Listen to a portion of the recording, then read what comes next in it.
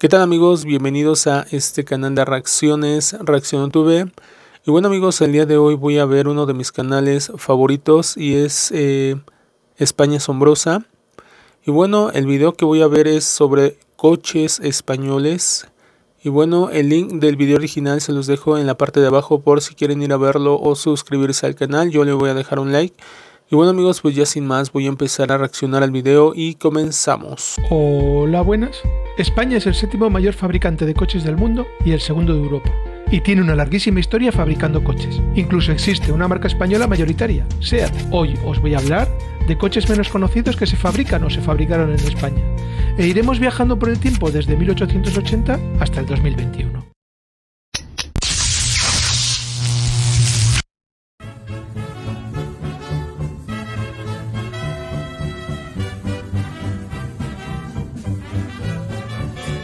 1889. El coche Bonet. Este fue el primer coche construido en España, solo cuatro años después de que se construyera el primero. El auto se ve curiosísimo, amigos. Parece que no sé si han visto las cestas que llevan las bicicletas enfrente para llevar comida o cosas. Parecen cestas, pero obviamente en un carro. Eh, se ve curioso, ¿eh? Pero lo construyó para su uso privado, no comercial. Alrededor de 1900 aparece el primer coche comercial a la venta que se fabrica en España. El fabricante es Emilio de la Cuadra, pero su empresa no se dio muy bien y solo fabricó cinco coches. En 1901 aparece su sucesora, fueron los J. Castro, pero la cosa tampoco funcionó y cerró en 1903. De 1903 y hasta 1936 llegó Hispano Suiza, una marca que sí gozó de éxito y prestigio se dedicaron a la construcción de coches de lujo y deportivos. Fue una empresa de altísimo nivel. Tenía coches fiables, potentes y de categoría.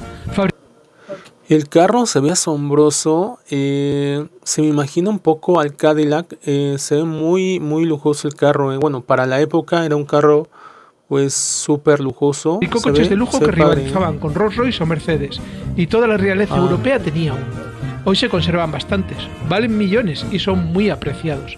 Ha sido la marca más prestigiosa de este país, pero la guerra civil acabó con ella.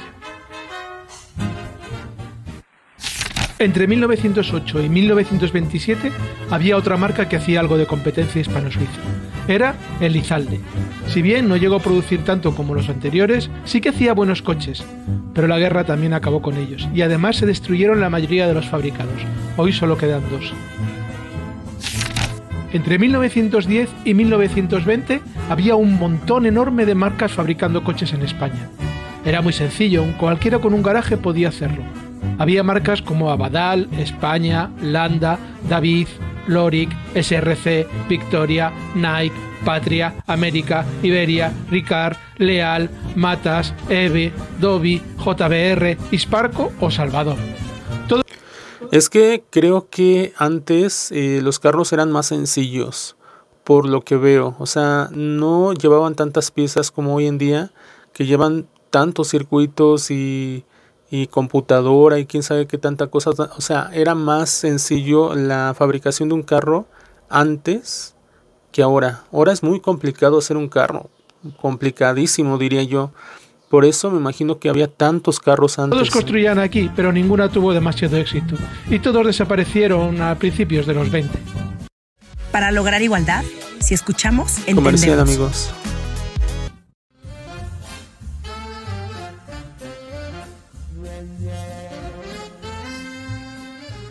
Entre el 40 y el 50 se fabricaron pocos coches en España. Las malas condiciones después de la guerra y la escasez de materiales no permitían grandes cosas. Así que pasemos a los 50. En 1951 aparece el Capiscooter, que solo tenía una rueda delante. y en 1952 entra el Biscooter, el coche más feo de todos los fabricados en España. Está muy curioso, ¿eh? ¿Saben a qué se me figura? A un carro de golf, amigos, porque pues a lo mejor sacaron el golf, el carro de golf de este prototipo, no sé. Está muy chiquito, ¿no? Está muy raro. Pero también en 1952 aparece el Pegaso Z102, el coche más bonito de todos los fabricados en España. Con este coche, en muy bonito, 1952, se conseguiría el récord del mundo de velocidad de un coche de producción, los 243 km por hora. En 1953 se fabrica el David Torpedo, que también tenía una rueda delante y era muy aerodinámico. Este se me hace muy tierno, amigos. Se ve como sacado de un este de una caricatura. Se ve curioso, eh, muy curioso. A partir de 1953 aparece SEAT, con el modelo 1400. SEAT se alía con Fiat que le deja fabricar sus diseños, así que la mayoría de los coches de SEAT son solo copias de los Fiat, como el 600, que fue el más vendido en España, pero era una copia del Fiat 500. Pero de entre todos los modelos SEAT había alguno español, y destacaré el SEAT 850 Sport, conocido como Spider. Era un coche muy bonito. En 1953 otra empresa empezó a fabricar coches bajo licencia. Esta era Santana, que hacía todoterrenos con licencia Land Rover, de muy buena calidad. Se ve curioso los todoterreno, amigos. Parecen cajas nada más. O sea, no tenían así mucho, mucha creatividad, no sé. Se veían, eh, pues no tenían mucha forma, eh, los, los todoterrenos De de muy antes. buena calidad. Parece una cajota. En 1958 se fabrica el Clua 500, un minicoche muy muy bonito. Se ve bonito. En eh. 1967 impresiona el Artés Campeador, que era un gran deportivo. Lamentablemente solo hay uno Este- por un incendio en la fábrica. Este es muy clásico en los eh, videojuegos de carreras, de carros. Eh, sale mucho este carro. Es eh, para mí es épico, o sea, muy este que no puede faltar. Creo que muchos conocemos ese carro, a, a lo mejor nada más por vista. O sea, yo no sabía ni el nombre, pero por vista sí lo conozco. Es en los 70 cuando en España empiezan a fabricarse millones de coches de marcas extranjeras. Míticos coches como el 2 caballos, el Renault 4L, el Mini, el Peugeot 205, el Volkswagen Polo se fabrican aquí. Y SEAT, por supuesto, empieza a fabricar modelos propios como el SEAT Ibiza o el Córdoba. Pero centrémonos en las marcas pequeñas, a ver qué están haciendo. Empezamos en 1971 con el Artés Gato Montés, un coche curioso que era anfibio, no tenía volante y tenía seis ruedas. Está curiosísimo, amigos. En 1973, Barreiros nos enseñó el Dodge 3700, del que se fabricaron 25 y aún se conservan 17. Un coche muy bonito, Ese también muy es diferente de lo que eh, se muy hacía en épico España. ese en carro, época. amigos. En 1982, en Mallorca se fabrica el CBA Contesa, una réplica de un coche clásico con un grandísimo acabado y cuidado en los detalles, y una mecánica moderna. En 1989, Santana fabrica en solitario el Santana 2500, un coche de grandísimo éxito en esta década.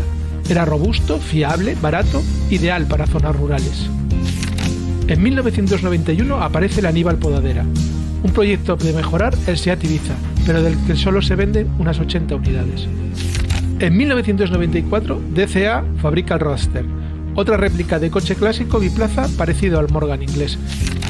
También en 1994 fabrican a mano el Black Baron Trimster en Alicante, con un estilo retro y motor Volkswagen.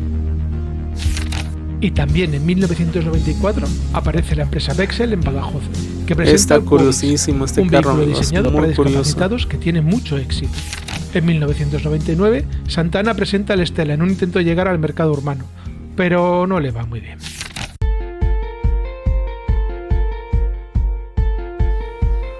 Coches en el 21, siglo 21. Empezamos en 2001. Comart fabrica dos Comart. deportivos, el Xtami y el Comart S1 Xoli, pero luego Este se ve curioso, de servicio ¿eh? eléctricos. Oye, se ve entre deportivo, pero a la vez se ve como simple. No sé cómo decirlo, pero tiene un diseño muy curioso. O sea, inclusive parece por los que juguete. hizo mucho más negocio.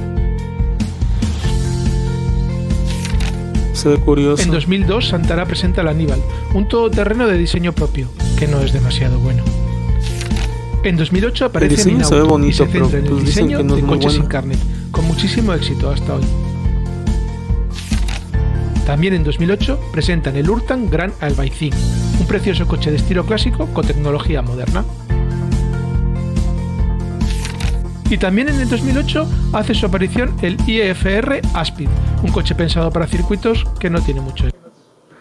Este sí lo he visto en, creo que está en varios videojuegos. Eh, uno de los videojuegos que lo he visto es en Forza 5 o algo así.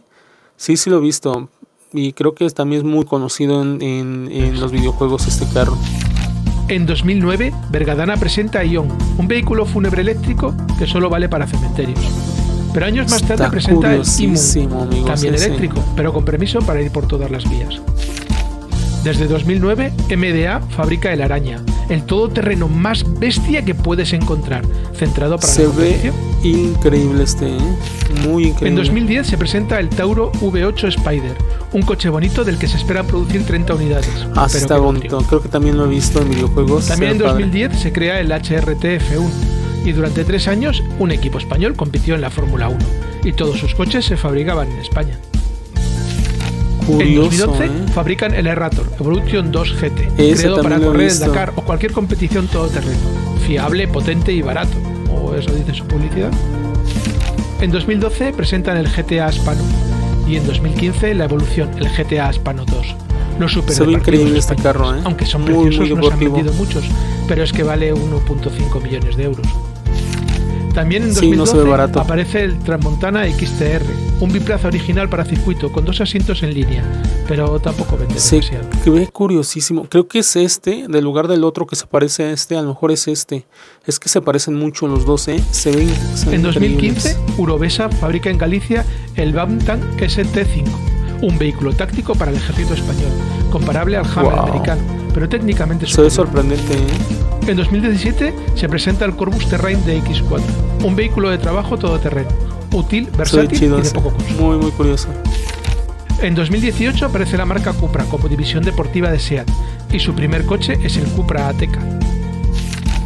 Para 2019 reaparece Hispano Suiza y presenta el Carmen y en 2020 la versión aún más deportiva, el Carmen Volume, se ve entre antiguo y moderno, se ve curiosísimo. 2020, TSD presenta el Ibero, un coche para operaciones especiales y pensado para el campo de batalla. Se ve muy fuerte ese carro, ¿eh? Espero haberos descubierto algunos coches que no conocíais o que no sabía que se habían fabricado aquí. Si os ha gustado, darle un like y suscribiros para descubrir más cosas. Y bueno amigos, pues ya acabó el video. Eh, me asombra la cantidad de carros que se fabrican o se fabricaron en España. Son bastantes unos curiosos, otros graciosos, otros increíbles, eh, deportivos increíbles. O sea, hay muchos autos que me asombraron, que me causaron curiosidad. Eh, está curioso amigos, me está curioso el video, me gustó, me gustó. Y bueno amigos, eh, si les gustó pues esta reacción este video, por favor déjenme su like, suscríbanse y nos vemos hasta el siguiente video. Bye amigos.